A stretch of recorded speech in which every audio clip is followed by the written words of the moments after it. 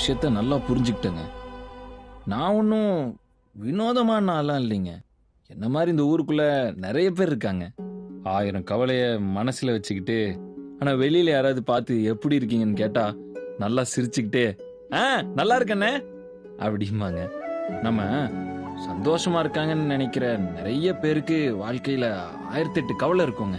நான் உணர்ந்த மாதிரி நீங்கள் எல்லாரும் உணர்ந்துட்டீங்கன்னா முடிஞ்ச அளவுக்கு யாரையும் காயப்படுத்தணும்னு நினைக்க மாட்டீங்க. நம்ம உள்ள என்ன ஃபீல் பண்றோங்கிறதுலாம் முக்கியம் இல்லைங்க. நம்ம அதை வெளியில எப்படி காட்டிக்கிறோங்கிறத வச்சு தான் இந்த உலகம் நம்மளை எடை போடுது. அப்புறம் என்னங்க? எல்லார்ட்டையும் நடிக்க ஆரம்பிச்சிட்டேங்க.